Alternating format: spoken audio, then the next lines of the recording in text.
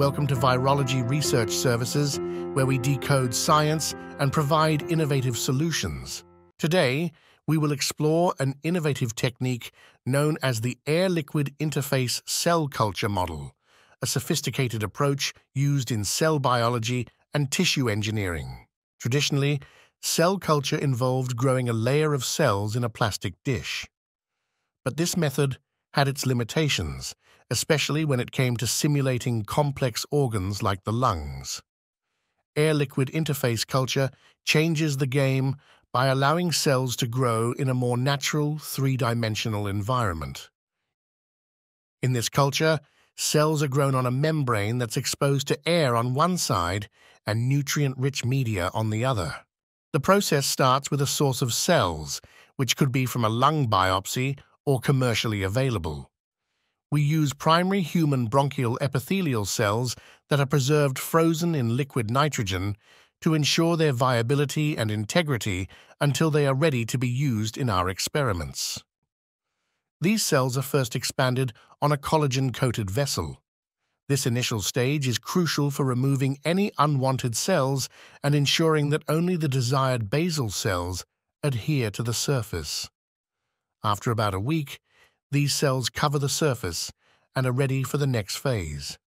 An enzyme gently detaches them and they're moved to a larger vessel where they continue to grow.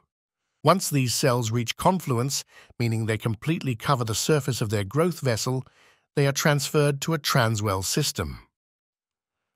A transwell is a specialized device used in cell culture that consists of a small, porous insert that fits into a larger well of a culture plate. This setup is key to creating an environment that mimics the human lung more closely. Cells are seeded onto the permeable membrane of a cell culture insert, which is initially supplied with culture medium to both the apical and basal compartments. When the submerged cells have become confluent and tightly packed, the cell culture media is removed from the apical chamber and never replaced. This becomes the air-liquid interface.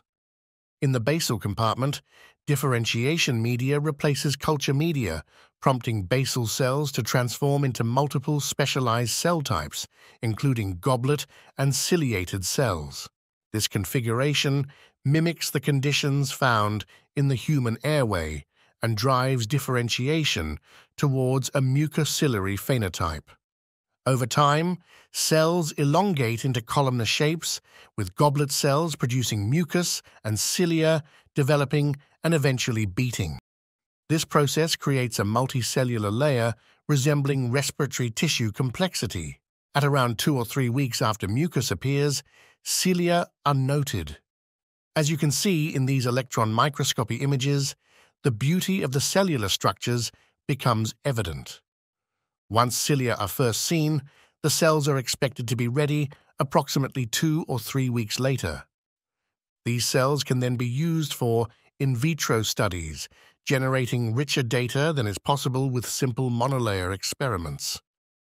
This type of cultures offer a unique advantage in studying viral infections, allowing researchers to observe and analyze the entire infection process, from viral entry to replication and immune response in a controlled and biologically relevant environment.